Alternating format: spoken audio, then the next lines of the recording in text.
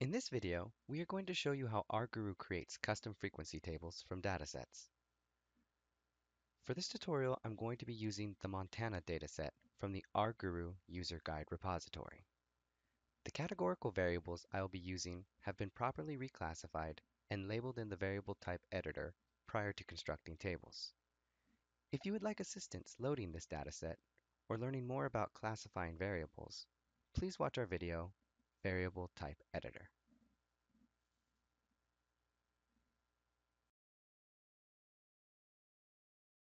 From the Analytics pane, scroll down to Analysis, and then click on Tabulation.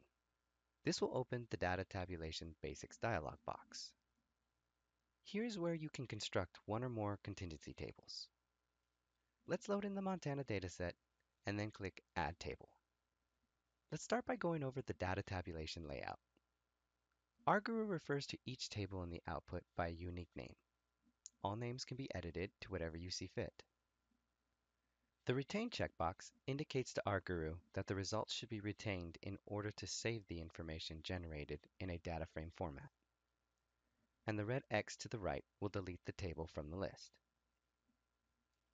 The three drop-down menus, Factor 1, 2, and 3, control the number and names of the factor variables to be tabulated. The two checkboxes, each labeled Condition, indicate whether you are conditioning upon each level of the corresponding factor. As you'll notice, factor 1 cannot be conditioned upon. If raw data is to be tabulated, selection of factors is sufficient. However, if there is a separate numerical variable that indicates the number of observations in each category or combination of categories, then the variable must be selected from the frequency drop-down menu. The radio buttons for type control the numbers shown in the output. You would select totals to return the counts of observations for each category or combination of categories, and you would select proportions to return a joint, marginal, or conditional distribution with all numbers being represented as proportions.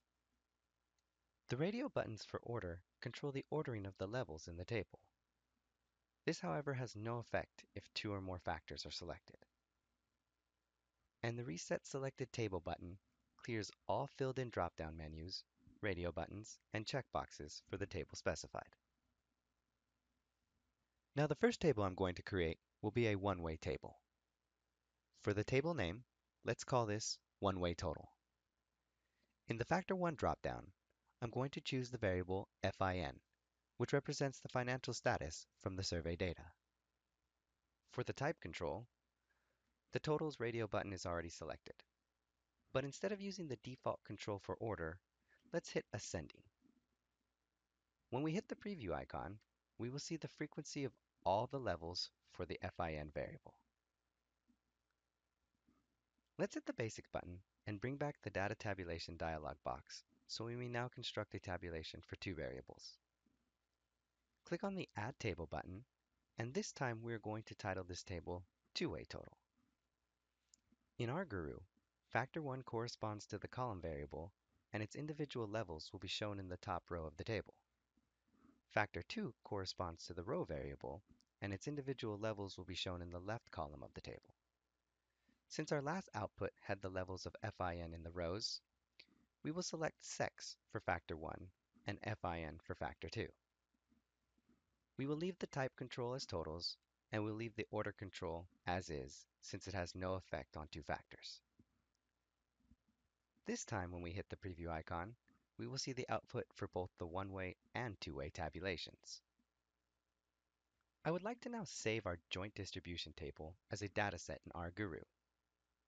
Scroll over to the Basic button, but this time let's hit the Retain checkbox for our two-way total table.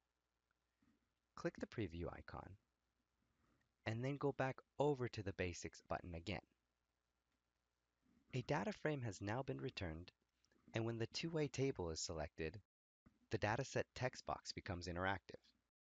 By default, the name of the dataset is the name of the table with a prefix of D underscore. I'll change this to my two-way table. Then hit the Save Dataset button. You will get a note telling you that the dataset has been imported successfully, and if you scroll over to the Data toolbox, you'll now see your newly saved dataset. For more information on implementing custom frequency tables and the various ways to do so, please reference the chapter Data Tabulation from our user guidebook.